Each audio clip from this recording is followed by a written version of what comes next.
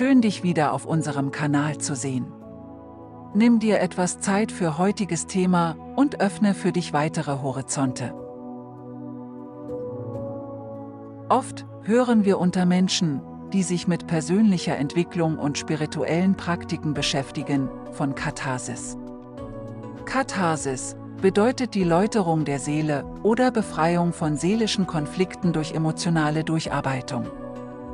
Wenn wir über seelische Reinigung sprechen, liegt unser Fokus in der Regel darauf, wovon wir uns reinigen wollen, was in uns schwer ist und womit wir verschmutzt sind. Nun, was, wenn wir diese seelische Reinigung aus einer anderen Perspektive betrachten?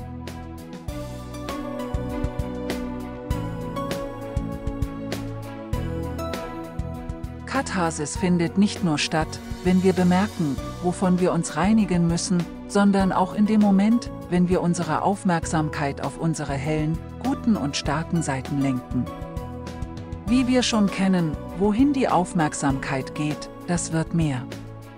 Wir vergessen oft unseren strahlenden Teil aufgrund der Trägheit unseres Bewusstseins.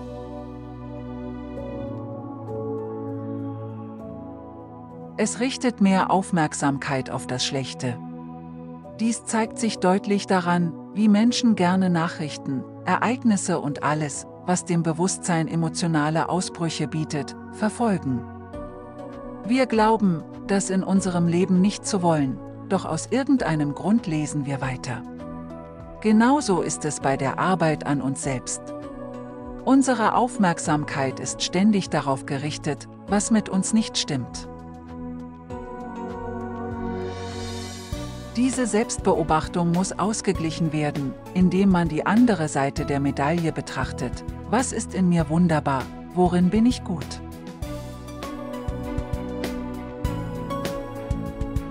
Wir sind mit einer bestimmten karmischen Last in dieses Leben gekommen, mit der Erfahrung aus anderen Inkarnationen. Daher ist in unserem Potenzial sowohl Barmherzigkeit als auch Güte, Liebe und Freude angelegt. Es ist wichtig, diesem positiven Karma Aufmerksamkeit zu schenken. Und wenn wir den Fokus auf unsere guten Eigenschaften legen, findet auch die gleiche Reinigung der Seele und Körper statt. Denn wohin die Aufmerksamkeit geht, das wird mehr.